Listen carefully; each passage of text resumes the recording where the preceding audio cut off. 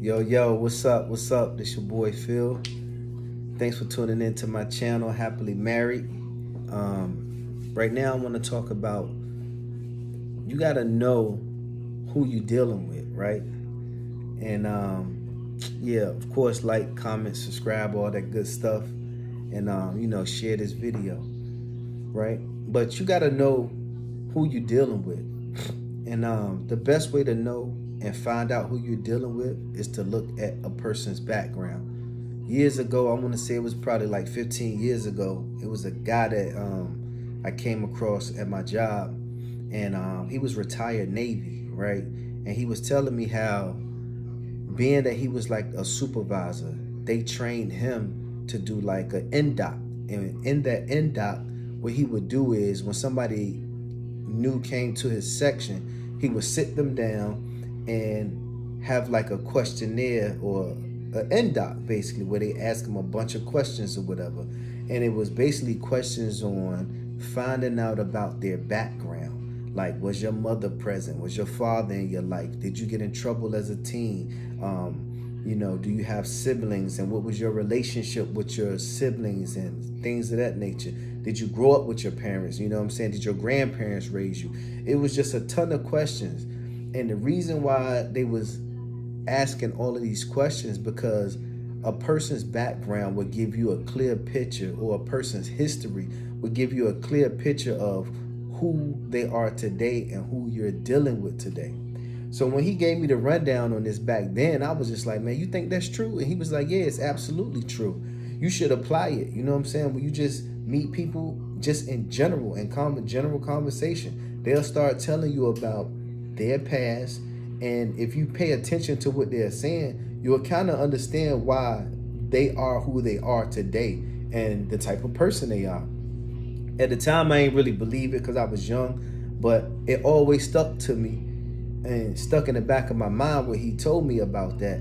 And um, as I grew and became older and more wise, um, it really started to ring true for me. You know what I'm saying? Because I really started to pay attention to people and just listen to what they were saying about their history, right? And um, and that goes for everybody. Like your history shapes you. You know, this is why people study history so much because history repeats itself. You know what I'm saying? So it's very important when you meet somebody or you're in a relationship with someone, you pay attention to how they grew up, what was their family structure like, um, how were they raised, um, who was present in their life, and basically who raised them. You know what I'm saying? And that'll let you know who you're dealing with to today, right? In your um, current relationship. And um, that's very true because like a lot of times, you know, like even jobs, they do background checks. And this is not to say that people don't change or that people can't become better versions of themselves, but as, as history taught us, history repeats itself. So this is why I like jobs do background checks to see if you was a thief then, you might be a thief now. So I don't want you coming up in here stealing from the job. You know what I'm saying? Or whatever. You know what I mean? So it's very important that you pay attention and know who you're dealing with. So once you get the gist of a person's background or the gist of a person's history, it'll help you understand how to move in your relationship. If you want to want this relationship to grow, you know what I'm saying? So let's say for instance, um, you know, everybody talks about the the daddy issues situation. And that that could reign true in in every situation whether your father was there or not because sometimes you have fathers in the home and they still not there. They still not present in the kid's life. You know what i'm saying? But you're to get a certain outcome from those kids or that person that you're dealing with based on that type of father. Or the, if the father was act, actively in their life you're to get a different outcome of that person. And if the father wasn't there, you're to get a different outcome of that person. And uh, you just have to be a judge of what person you're dealing with.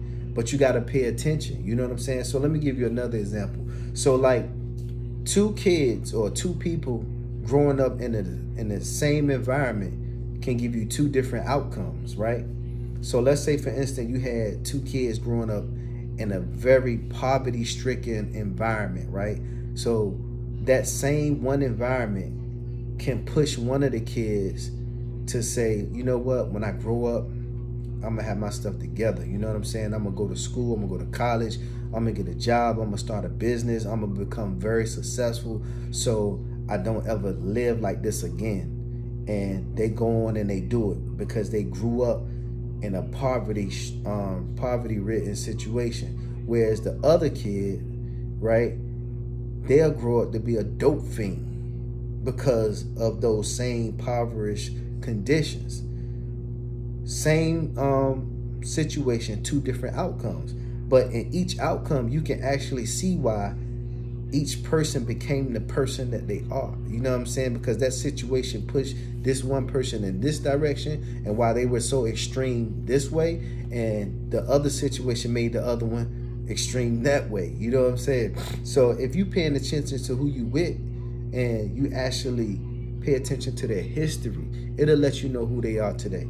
Like a lot of people deal with issues where a lot of women deal with issues where they don't trust men because of various reasons.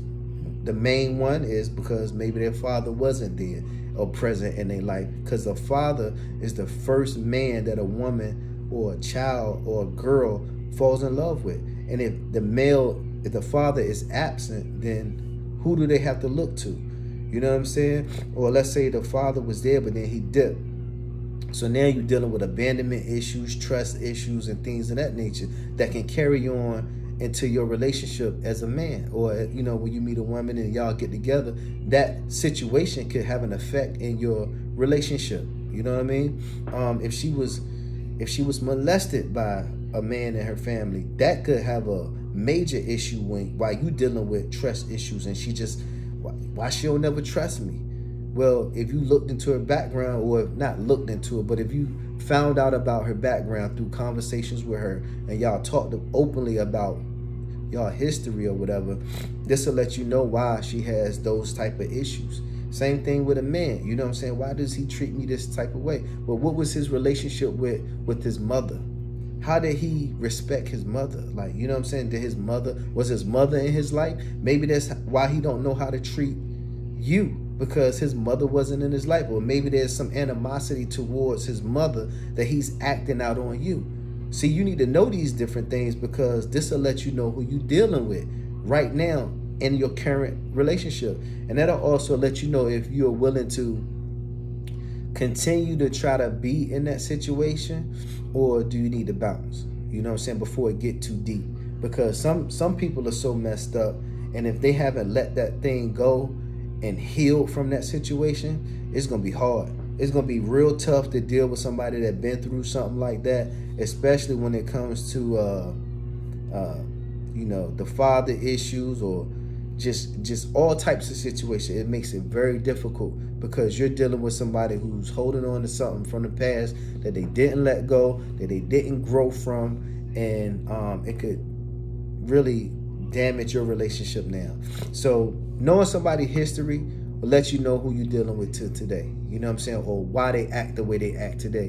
And you have to do it. And I don't mean just run up and ask uh, a thousand questions and quiz them like that's going to turn somebody off. But if, if you're in a relationship and things is going smooth and y'all begin to talk and begin to open up a little bit more, you'll they'll just freely give this information to you, but you have to be recording this information with purpose. And the purpose is to make sure that you want to improve your relationship or to have a good relationship with this person. So part of having a good relationship is actually understanding the person that you with. Sometimes you can point out some stuff or understand something about the person you with that they may not even recognize themselves, but you got to pay attention off the top. You know what I'm saying? So I know this was a short video, but I just wanted to put that out there that you got to know who you with. You got to want to know who you with also. And paying attention is very important. Listening is very important because when people talk, it ain't just the talk all the time. I ain't going to say like, you know what I'm saying? Sometimes we talk the talk, but for the most part, when y'all are having those intimate conversations, the information is going to come out and be readily available for you. But you have to pay attention and put it all together so that way you know who you're dealing with. And it makes it a whole lot easier. and you won't be questioning yourself all the time like why she keep coming at me you think it's something wrong with you but it's really the fact that there's something in his or her history that makes them the way they are today. And that goes for any relationship. Your friends may be it may be a relationship at your job or a relationship with your friends and it it applies in that situation as well. So i just wanted to put that out there. Hopefully this information was helpful and um, hopefully you can use it. I'll holler